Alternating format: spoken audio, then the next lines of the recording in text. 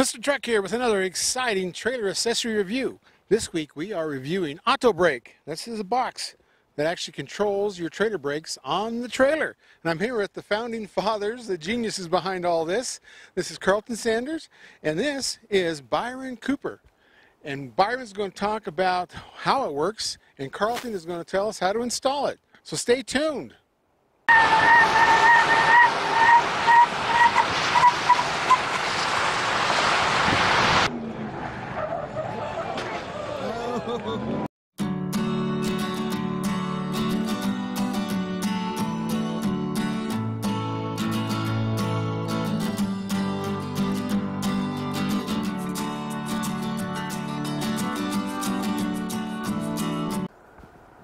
Mr. Truck here, I'm interviewing Byron Cooper.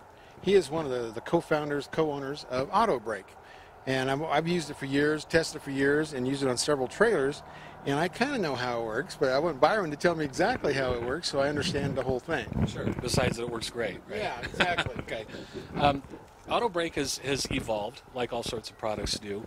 And, uh, and it's basically by listening to the consumer and seeing what's out there. And, and we wanted something that was simple and functional and safe and reliable, that it could go on the trailer and just work. And, that's what people want anymore anyway. Can I do it? Does it work? Can I count on it? And that's how it's evolved the way that it has. Um, traditional brake controls, they're wired inside the vehicle. You have knee knocker units in the dash. Um, we have enough things plugged into the cab of our vehicle between GPS, phones, uh, chargers, games, everything else that's in there. And when you're getting into your truck or your tow vehicle, you want to tow. And you want to know that everything behind you is going to do what it's supposed to do. And that's what we've strived for, and that's what we've come up with with this. So by removing everything out of the cab, there's no driver interaction, there's no vehicle interaction, there's nothing. It's all on the trailer where we feel it's supposed to be with the trailer brakes. So once the AuTow Brake is hooked up and it gets all the power, as soon as you plug that trailer in, your lights on the trailer go on. Well, the AuTow Brake also gets its power that way. So it is on all the time. There's accelerometer and computer systems in it and different programs. It is always monitoring itself, always monitoring itself, wondering, what do I do next? What do I do next? As soon as you activate the brakes, your brake lights come on. That tells the AuTow Brake brain, I need to do something. And it's always going to create neutral on your trailer hitch. And what that means in plain English, I'm driving down the road, I don't feel my trailer push me, I don't feel my trailer pull me. It stops when the vehicle stops. And that's that's what we've we've done with this. And with technology, there's a lot of new things out there. People that already have a controller in their car, or maybe an integrated unit in the dash. This again takes the user element out of it. It's got a brain in there and says, "Oh, there's another unit in use. I'm going to disable myself so that one can take care of things." So there's nothing you need to do if you're switching vehicles.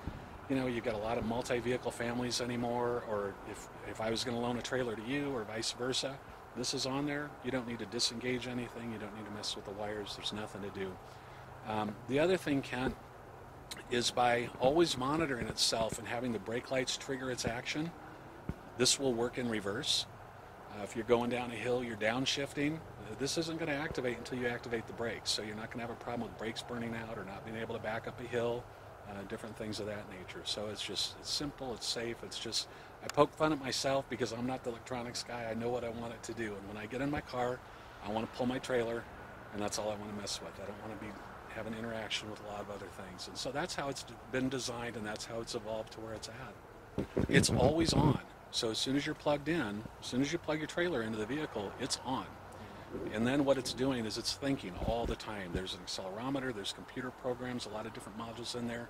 It's always sensing itself. So as soon as the brake lights come on, the AuTow Brake knows it. I have an action. The brake lights are creating an action. I need to stop, and that's that's what triggers it. Oh, cool. So the computer analyzes all the inputs and decides what to do. Correct. In milliseconds, I'm sure. Correct. And you're correct about the dash. My dash is covered with junk, you know, mm-hmm. and, and, you know how your peripheral vision is. If you put a bunch of stuff down here, like some brake controllers are, you look down there, you lose your peripheral vision. You run into things. So I like getting rid of all that. You know, and this this the idea of, of having the trailer control its own braking. I mean, that's normal in Europe. I mean, that's actually how all the traders in Europe are. They, they have a lot more safety regulations than we do in the U.S. But that's, you know, you got surge brakes on boats, so we understand how it works here. And this is like an electronic surge where that's the correct. computer figures it all out. So, that's no, exactly it's, right. it's a great system. I really like it, and it's simple and easy to do. Well, good. Now I know how it works because I knew that there's a brain in there doing something. Right. Besides great, right? Yeah, yeah, yeah. And it's it's uh, it's awesome. It's simple, and then you can just put it on the trailer because that's really you know just like what the Europeans do. Let the trailer do its own thing and control its own thing because it knows what's going on. That's Probably quicker right. than the truck does. Exactly right. But uh, And, and one other thing, if I might add, and I know we show it in the installation video, but as soon as this is calibrated the first time, once you install it and you calibrate it, like I have a camper, this is on my camper, I never need to set it again. I, this my camper sits in storage. When I hook it up come spring, I plug it in. It's already at the same setting that it was when I put it in storage, so you don't need to mess with it at all. oh, that's awesome. Electronic surge. Yeah, It's awesome. I've tested it. I've driven it. I've used it years. And you guys have been doing this for years. This is not something you just started up. that's correct. Been going It's on for a long time. coming. This, is, this is like phase four of it. So Oh, it's, it's evolved and grown up with us, kind of. Cool. Great. Okay. Got all of our test equipment here. We are trying to test AuTow Brake. It's a box that goes on your trailer and controls the brakes independently. Uh, works by you know the movement of the trailer. Uh, it's an electronic brake. It's added on several other trailers. We're going to move it on to another trailer tomorrow. But today we're testing on electric over hydraulic. And that's what we're trying to do is see how it compares everybody else. Oh, if you like, we test a lot of vehicles, and like we get a lot of vehicles that have brake control, and in some of those vehicles too, we have to use weight distributing hitches. So using the AuTow Brakes, our only chance of having a brake controller. They don't come with them off from the truck or the SUV, and so in a lot of those instances on an Spec half ton we'll have to use a weight distributing hitch so we can't use other devices so we have to you have this kind of a setup in order to test it okay here we are Mr. Truck here doing our AuTow Brake test we've done 4,000 pound trailer 6,000 pound trailer. Now we're doing 8,000 pound trailer. See how well the AuTow Brake brakes. We're recording off of a V-Box Sport from Racelogic. That's synced to satellite, and we've got our mini pad hooked to the satellite. We're gonna see what our runs do. Go up to about 63 miles an hour, and then we'll put it in neutral.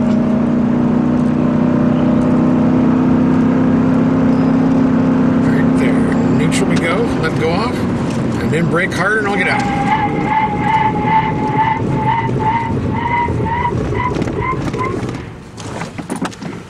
Okay. Now it shows what we did. I don't know if you can see all this, how well you can see it. But it shows, and I can't see it here very long. I want the brakes to cool off. Shows 20 to 0, 20 miles an hour to 0. Did uh, 2.20 seconds, 29.24 feet. At 60 mile an hour to 0, it shows 6.31 seconds, 271.94 feet. That was our first run. We will do five of these runs. Actually, we'll do, yeah, we'll do five runs. We're doing a two mile uh, loop now to cool off the brakes. So we don't want them to seize up or get sticky on us.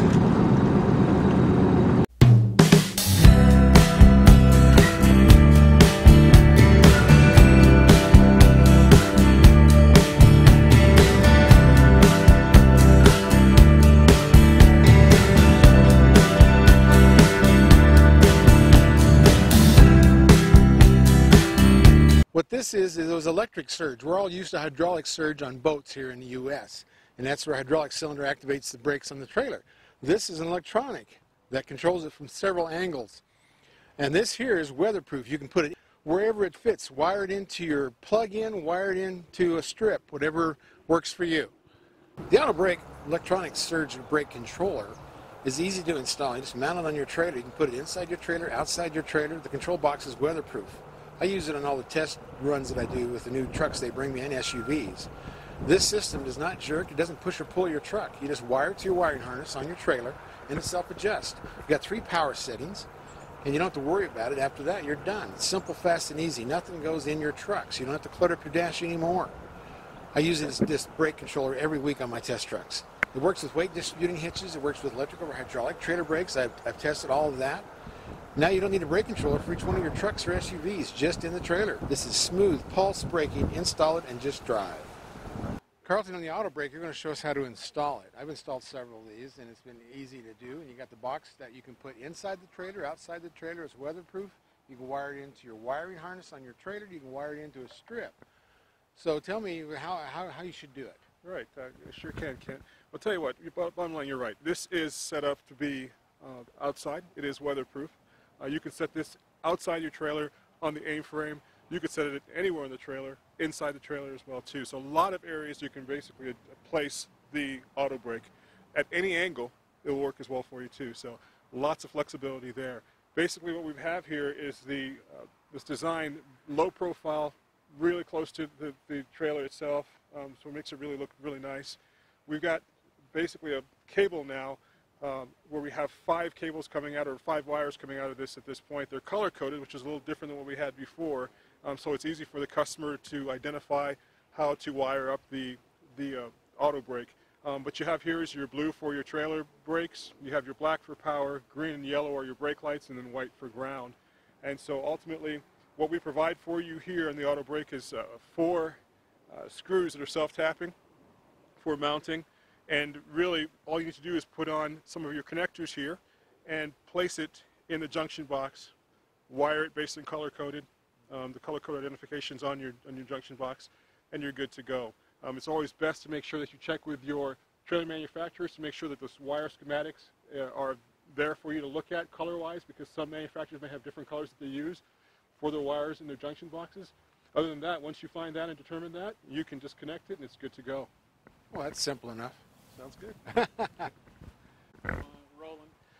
So just wanted to kind of give you a good example of how to install it um, with a junction box, an open junction box for everybody to see, Kent, on this. And really, again, it's simple. We have, again, these five wires. Blue for your trailer, trailer brakes. You got black for power, uh, green and yellow for your brake lights, and then white for ground. Now looking at your junction box here, we know that red is the power. So we're going to connect the black to the red on this. So basically, once you get that in place, you get an idea, looking at the junction box, making sure that the wire configuration through the schematics is correct to match up with the AuTow Brake's five wires here, then you just connect it. So I'm going to go basically blue to blue here. I've got black. I'm going to put that on the red connection for power. Make sure you get that done first. And then I'm going to basically put the ground on and yellow to yellow. And then green to green. Now it's always really important to remember, should have said this first, but it's always important to remember that you have your power off. You don't want to have yourself get, get a shock in any way from a safety standpoint. So, you know, although I did this in there, I knew this was uh, not powered up. I was okay, but uh, make sure you do that uh, for your own personal safety. And that's it. Wow, that was easy. That was simple.